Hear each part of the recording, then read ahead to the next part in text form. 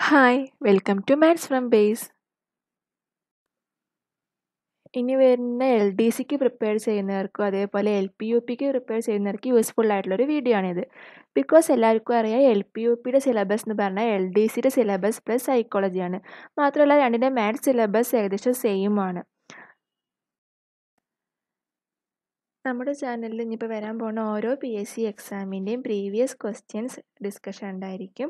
Mainly maths questions അതേപോലെ തന്നെ ഓരോ എക്സാമിന്റെയും സിലബസ് ബേസ്ഡ് ആയിട്ടുള്ള ടോപ്പിക് വൈസ് ഡിസ്കഷനും ഉണ്ടായിരിക്കും.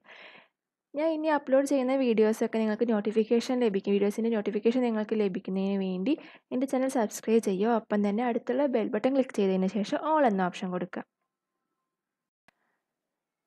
അപ്പോൾ നമുക്ക് ഫസ്റ്റ് ക്വസ്റ്റ്യൻ നോക്കാം. ആ അതിന് മുന്നേ വേറൊരു കാര്യം ഞാൻ എല്ലാ വീഡിയോസിലും പറയാറുള്ള പോലെ മാത്സ് കുറച്ചൊക്കെ ബേസ് ഉള്ളവരാണെങ്കിൽ അല്ലെങ്കിൽ കുറച്ചൊക്കെ അറിയാവുന്നവരാണെങ്കിൽ വീഡിയോന്റെ പ്ലേ ബാക്ക് സ്പീഡ് ഒരു വൺ പോയിന്റ് ഫൈവ് ഓർ എബോക്കെ വെച്ച് കാണുക. കാരണം നമ്മൾ ചുമ്മാ ടൈം വേസ്റ്റ് ചെയ്യേണ്ട ആവശ്യമില്ല. അങ്ങനെ ആണെങ്കിൽ നമുക്ക് ടൈം ലാഭിക്കുകയും ചെയ്യും. അപ്പം തന്നെ കൂടുതൽ കാര്യങ്ങൾ മനസ്സിലാക്കുകയും ചെയ്യാം. ഓക്കെ നമുക്ക് ക്വസ്റ്റ്യൻ നോക്കാം. ക്വസ്റ്റ്യൻ ഇതാണ് ഒന്ന് മുതൽ അമ്പത് വരെയുള്ള എണ്ണൽ സംഖ്യകളുടെ തുക എത്ര? ഇത് ചെയ്യാനൊന്നുമില്ല. ജസ്റ്റ് ഒരു ഇക്വേഷൻ മാത്രം അറിയ അറിഞ്ഞാൽ മതി. ആ ഇക്വേഷനിൽ വാല്യൂസ് കൊടുത്താൽ മതി. ഒന്ന് മുതൽ അമ്പത് വരെയുള്ള എണ്ണസംഖ്യയുടെ തുക കാണാനുള്ള ഇക്വേഷൻ ഒന്ന് മുതൽ എൻ വരെയുള്ള എണ്ണസംഖ്യയുടെ തുക കാണാനുള്ള ഇക്വേഷൻ എന്താ? N into N plus one by two ഒന്ന് മുതൽ എൻ വരെയുള്ള അല്ലെങ്കിൽ എൻ എണ്ണസംഖ്യയുടെ തുക കാണാനുള്ള ഇക്വേഷനാണ് N into N plus one by two ഇവിടെ എന്താ പറഞ്ഞത് ഒന്ന് മുതൽ അമ്പത് വരെയുള്ള എണ്ണസംഖ്യകളാണ് so N equal to fifty ആണ് ഇവിടെ. അപ്പോൾ നമ്മൾ ഇക്വേഷനിൽ എന്നിന്റെ സ്ഥാനത്ത് അമ്പത് കൊടുക്കുക. അത്രേ ചെയ്യാനുള്ളൂ. ഓക്കെ അതിന്റെ സ്ഥാനത്ത് അമ്പത് കൊടുക്കുമ്പോൾ അമ്പത് ഇന്റു അമ്പത് പ്ലസ് ഒന്ന് ബൈ രണ്ട്.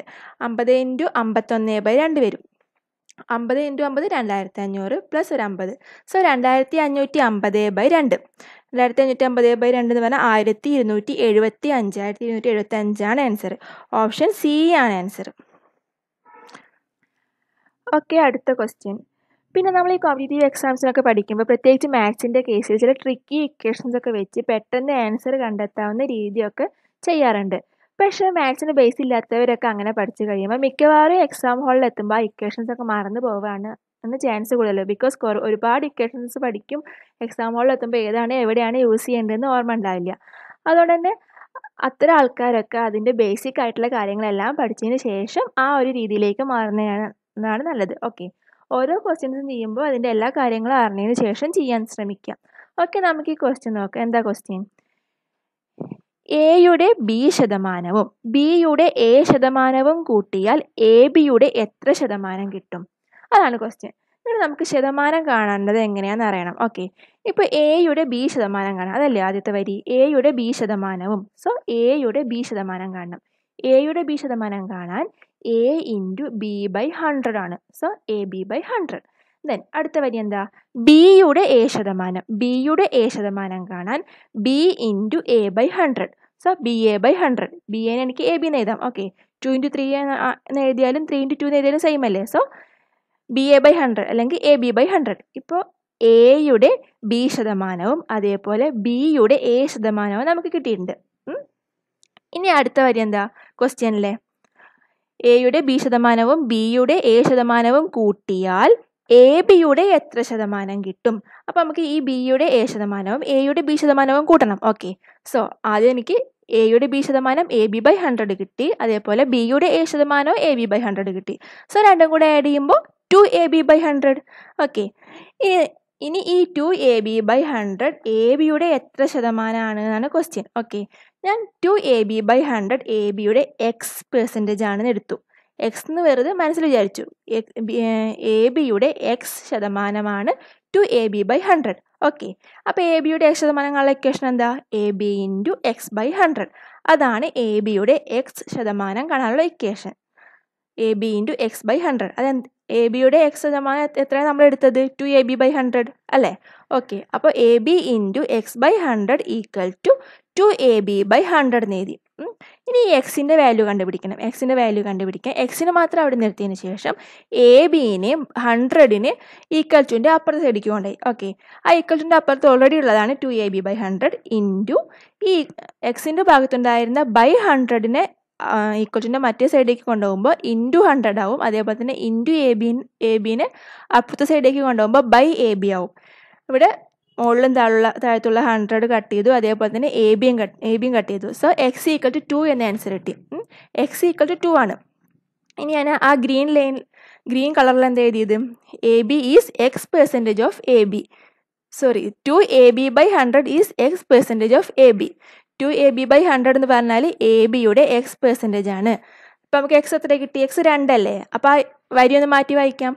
Two A B by hundred is two percentage of A B two A B by hundred എന്ന് പറഞ്ഞാൽ എ ബിയുടെ രണ്ട് ശതമാനമാണ്. അപ്പോൾ എന്താ ക്വസ്റ്റ്യൻ അതല്ലേ? എ ബിയുടെ എത്ര ശതമാനമാണ്? Two A B by hundred അല്ലെങ്കിൽ എയുടെ ബി ശതമാനവും ബിയുടെ എ ശതമാനവും കൂട്ടിയത് എ ബിയുടെ എത്ര ശതമാനമാണ്? അതാണ് ക്വസ്റ്റ്യൻ എയുടെ ബി ശതമാനവും ബിയുടെ എ ശതമാനവും കൂട്ടിയതാണ് two A B by hundred ഈ two A B by hundred A ബിയുടെ രണ്ട് ശതമാനമാണ്. ഓക്കെ അപ്പോൾ ഓപ്ഷൻ ഡി ആണ് ആൻസർ രണ്ട്. ഇനി അടുത്ത ക്വസ്റ്റ്യൻ രണ്ട് സംഖ്യകൾ തമ്മിൽ കുറച്ചപ്പോൾ ലഭിച്ചതും ആ സംഖ്യകളുടെ ഗുണനഫലവും തുല്യം. അവയിൽ ഒരു സംഖ്യ അഞ്ചായാൽ അടുത്ത സംഖ്യ ഏത്? നമ്മൾ ഓപ്ഷന്റെ ആൻസർ കണ്ടുപിടിക്കാന്ന് വെച്ചാൽ ഓപ്ഷൻസൊക്കെ ഭിന്നസംഖ്യ രൂപത്തിലാണ്. സോ ആൻസർ കണ്ടുപിടിക്കാൻ കുറച്ച് റിസ്ക് ആയിരിക്കും. അതുകൊണ്ട് നമുക്ക് എക്സും വൈ ഒക്കെ എടുത്ത് തന്നെ ചെയ്യാം. എക്സും വൈ അല്ല? ഓക്കെ എക്സ് എടുത്ത് ചെയ്യാം. പലരും എന്നോട് പറയാറുണ്ട് എക്സും വൈ ഒന്നും വെച്ച് ചെയ്യല്ലേ? അങ്ങനെ അങ്ങനതൊക്കെ കാണുമ്പോൾ തന്നെ ക്വസ്റ്റ്യൻ ചെയ്യാനുള്ള ഇൻട്രസ്റ്റ് പോകുന്നു. പക്ഷെ അത് അങ്ങനെ ആ ഒരു രീതിയിൽ അപ്രോച്ച് ചെയ്യേണ്ട ആവശ്യമില്ല. ബിക്കോസ് ഒന്ന് രണ്ട് ക്വസ്റ്റ്യൻ ചെയ്യുമ്പോൾ അതിനോട് പഠിഞ്ഞോളും കാരണം അത് വലിയൊരു പണിയൊന്നുമല്ല നമ്മളൊരു സംഖ്യേനെ അറിയാത്തൊരു കാര്യത്തിന് നമ്മൾ എക്സ് അല്ലെങ്കിൽ വൈ എന്നൊക്കെ അസ്യൂം ചെയ്യാണ് ചെയ്യുന്നത്. ഓക്കെ നമുക്ക് ഇവിടെ എങ്ങനെ ചെയ്യാൻ നോക്കാം. എന്താ ക്വസ്റ്റ്യനിൽ എന്താ പറഞ്ഞത്? രണ്ട് സംഖ്യകൾ തമ്മിൽ കുറച്ചപ്പോൾ ലഭിച്ചതും. അതേപോലെ ആ സംഖ്യകളുടെ ഗുണനഫലവും തുല്യം. അതിൽ ഒരു സംഖ്യ നമുക്കറിയാം. അഞ്ചാണ്. അപ്പോൾ രണ്ട് സംഖ്യ നമ്മൾ കുറച്ചു. ആ അഞ്ചെന്ന് ഏത് സംഖ്യ കുറച്ച് നമുക്കറിയില്ല. സോ അതിന് നമ്മൾ എക്സ് എന്ന് എടുത്തു. അപ്പോൾ അഞ്ച് മൈനസ് എക്സ് ഈക്വൽ ടു അത് എന്തിനോടാ തുല്യം? ആ രണ്ട് സംഖ്യകളും കൂടിയും ഗുണിക്കുന്നതിനോട് തുല്യമാണ്. രണ്ട് സംഖ്യകളെ ഗുണിച്ചു. അഞ്ച് ഇന്റു എക്സ് അഞ്ച് എക്സ് ഓക്കെ അപ്പോൾ അഞ്ച് മൈനസ് എക്സ് ഈക്വൽ ടു അഞ്ച് എക്സ് എന്ന് കിട്ടും. ഇനി ഞാൻ എക്സിനെ അല്ല എക്സിനെ ഒരു ഭാഗത്തേക്ക് എത്തിക്കാൻ വേണ്ടിയിട്ട് ഈ അഞ്ചിനെ മാത്രം അവിടെ നിർത്തിയിട്ട് പ്ലസ് എക്സിനെ ഈക്വൽ ടുന്റെ വലതുഭാഗത്തേക്ക് കൊണ്ടുപോയി ഓക്കെ അപ്പോൾ എന്തായി? അഞ്ച് ഈക്വൽ ടു അഞ്ച് എക്സ് പ്ലസ് എക്സ് അഞ്ച് എക്സ് പ്ലസ് ഒരു എക്സ് അഞ്ച് എക്സ് പ്ലസ് ഒരു എക്സ് ഈക്വൽ ടു ആറ് എക്സ് അല്ലേ? അഞ്ച് എക്സ് ഒരു എക്സ് ആറ് എക്സ് അല്ലേ? അഞ്ച് ഈക്വൽ ടു ആറ് എക്സ് എന്ന് കിട്ടി. ഇനി എക്സിനെ മാത്രം അവിടെ നിർത്തിയിട്ട് ഞാൻ ആറിനെ എങ്ങോട്ട് കൊടുന്നു ഇന്റു ആറിനെ ഈക്വൽ ടു എങ്ങോട്ട് വരുമ്പോൾ ബൈ ആറാവും അപ്പോൾ X equal to five by six എന്ന് ആൻസർ കിട്ടും. ഇവിടെ ആൻസർ ഫൈവ് ബൈ സിക്സ് ആണ്. ഓപ്ഷൻ എ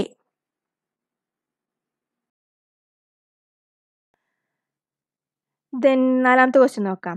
ഇരുന്നൂറ്റി മൂന്ന് സ്ക്വയർ മൈനസ് നൂറ്റി തൊണ്ണൂറ്റേഴ് സ്ക്വയറിന്റെ വില എന്ത്? ഇതെങ്ങനെ ചെയ്യും? ഇരുന്നൂറ്റി മൂന്നിന്റെ സ്ക്വയർ കണ്ട് അതിൽ നൂറ്റി തൊണ്ണൂറ്റേഴിന്റെ സ്ക്വയർ കുറയ്ക്കാനൊന്നും നിൽക്കണ്ട നമ്മൾ പഠിച്ചിരിക്കേണ്ട ചില ഇക്വേഷൻസ് ഉണ്ട്. അതിലൊന്നാണ് A square minus B square equal to A minus B into A plus B എന്താണ്? A square minus B square equal to A minus B into A plus B ഇവിടെ question A square minus B square എന്നുള്ള ഫോമിലാണ് അല്ലേ?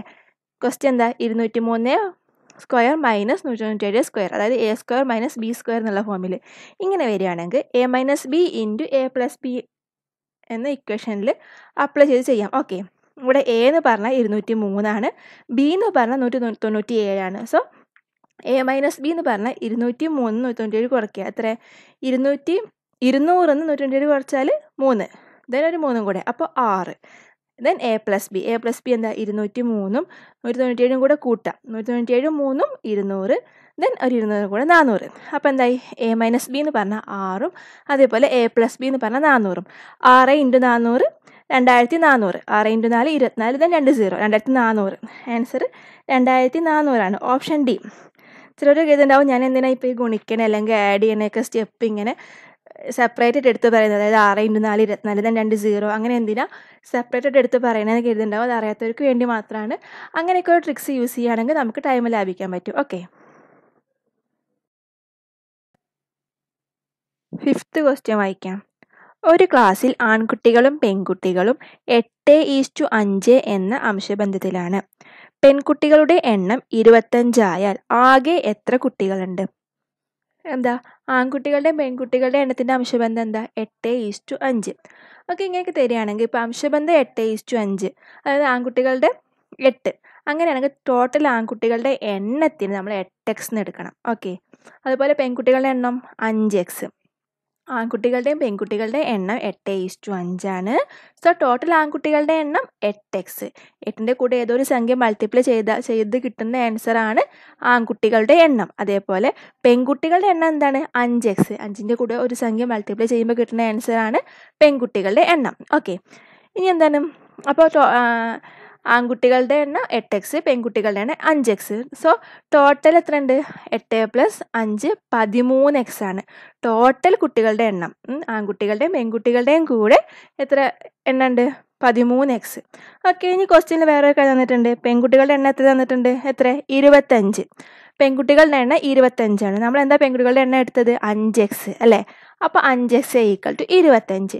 അഞ്ച് X ഇരുപത്തഞ്ചാണെങ്കിൽ X എത്ര? Into ഫൈവിനെ അപ്പുറത്തേക്ക് ഉണ്ടാകുമ്പോൾ ഡിവൈഡഡ് ബൈ ഫൈവ് ആവും. അപ്പോൾ twenty five by five X equal to five okay ഇരുപത്തഞ്ചിന് അഞ്ചോടെ ആയിരിക്കുമ്പോൾ അഞ്ച്. അപ്പോൾ എക്സ് അഞ്ച് എന്ന് കിട്ടി. ഓക്കെ നമ്മൾ ഇനി എന്താ കാണേണ്ടത് ടോട്ടൽ കുട്ടികളുടെ എണ്ണം. അതായത് ആൺകുട്ടികളും പെൺകുട്ടികളും കൂടെ എത്ര കുട്ടികളുണ്ട് എന്ന് അത് എത്ര നമ്മൾ നേരത്തെ കണ്ടു ആൺകുട്ടികളുടെയും പെൺകുട്ടികളുടെയും കൂടെ എണ്ണം പതിമൂന്ന് എക്സ് അല്ലേ? അപ്പോൾ നമുക്ക് എക്സിന്റെ വാല്യൂ ഇവിടെ കിട്ടിയിട്ടുണ്ട് അഞ്ച്. ഓക്കെ പതിമൂന്ന് ഇന്റു അഞ്ച് അറുപത്തഞ്ച് ആൻസർ അറുപത്തഞ്ച്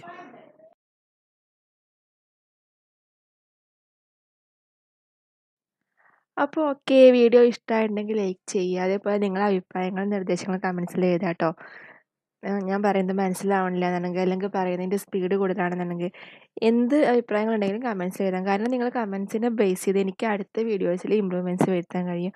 ആൻഡ് ഓക്കെ താങ്ക്